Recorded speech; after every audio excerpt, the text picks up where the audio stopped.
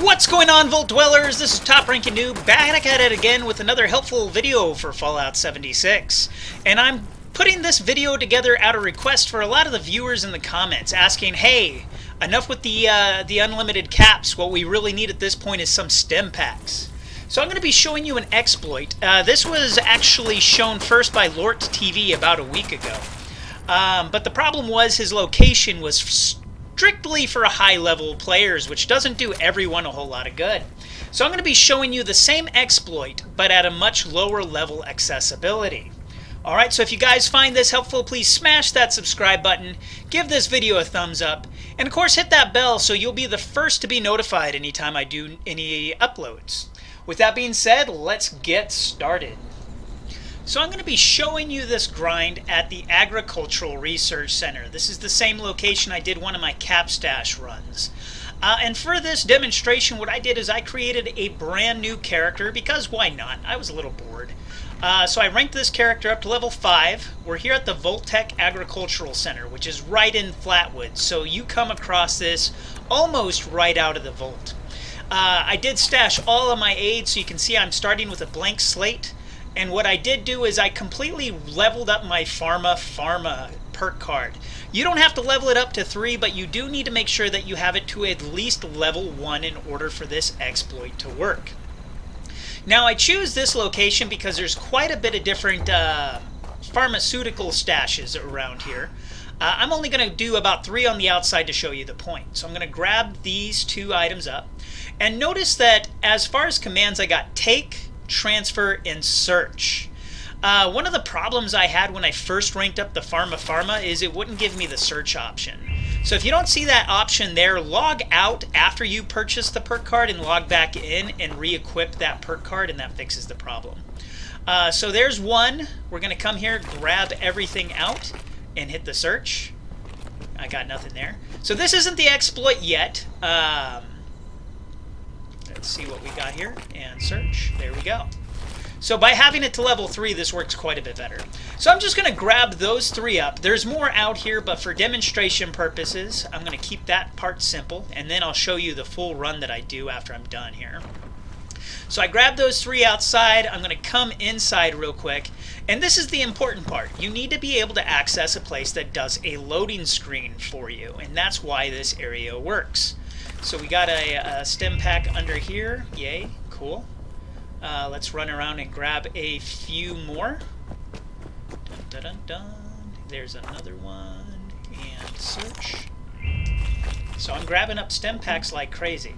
Uh, and of course, as you guys know, this works for more than just stim packs. What you get is kind of luck of the draw. So you're going to get some Rad Away, some RadX, uh, some extra buffs, uh, buff out, whatever. You're going to get all kinds of goodies on this. So I grab those. I'm going to run outside. And this is where we're going to actually see the exploit at work.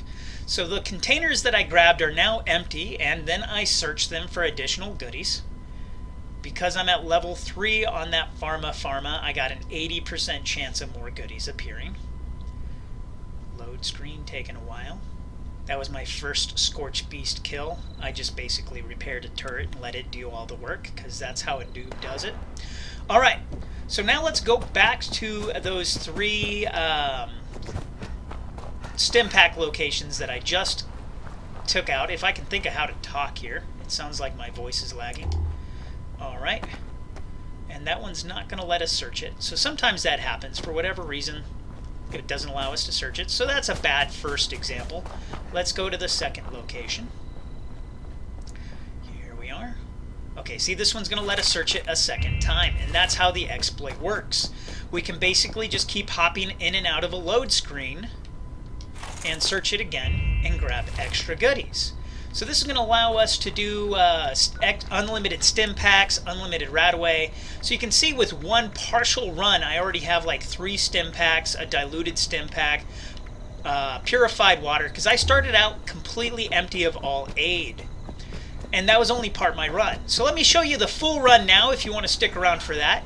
And I'll show you where all of these uh, locations are in this general area. Starting with this little bunker, I found two of them in here, along with some ghouls. That's why I brought my board. Alright, so we got one location here. Disease cure, Radaway. Alright, so there's two in here. And then let's go to the back and I can figure out how to get over this crazy obstacle. There we go. Duels. Them. I saw a can of dog food on one of them. Oh, no, it's dog tags. Never mind. Alright, there we go. The nice thing is once you clear this area out, we're not going to be doing server hopping, so we don't have to keep clearing it out. Plus, the robots and the ghouls fight each other quite a bit, so it's pretty easy. Alright, so we got another stim pack box here, first aid kit, whatever we want to refer to it as. And we're going to run around to the other side of this greenhouse area. And we got another one down here. Perfect. So that's the full outside run. We'll just go inside, grab up some more of these, and just repeat the process. Man, these load screens are taking their time today. Okay, so we should have one on the counter here, and that one's not going to let us search it. That happens sometimes, not a big deal. That's why it's nice to find a location that has lots of these little first aid kits. See, this one will let us search it, and we got some Radaway and some disease cure.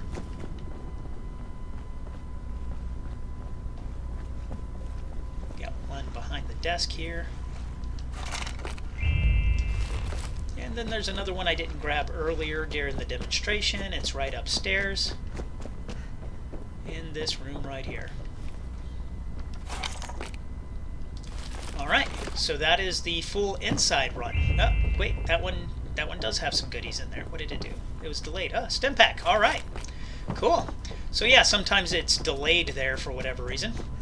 And that is the full inside run. So we can just keep going around and around and around here. There's hardly any enemies, and all the enemies that do spawn are pretty easily manageable. On top of that, there's an event here that you can do, uh, so you'll get extra XP on that, which is pretty important at lower levels. Uh, I did this demonstration with level 5, but of course you don't have to be level 5 to do this. You can, as long as you got that Pharma Farma perk card.